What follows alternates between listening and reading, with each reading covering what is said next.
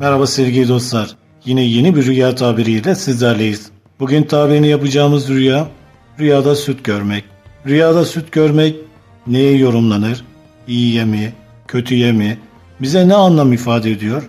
Bunları sizlerle paylaşmaya çalışacağız. Öncelikle rüyada süt görmek, zahmete girmeden, çalışmaya gerek kalmadan ve alın teri dökmeden mal ve kazanç sahibi olmaya yorumlanır. Rüyada kadın ya da erkek fark etmeksizin rüya sahibinin bir memesinden süt gelmesi maddi anlamda birikim yapmaya yorumlanır. Evet sevgili dostlar, bugünkü rüya tabirimiz de bu kadardı. Bir başka rüya tabirinde buluşuncaya dek hoşçakalın.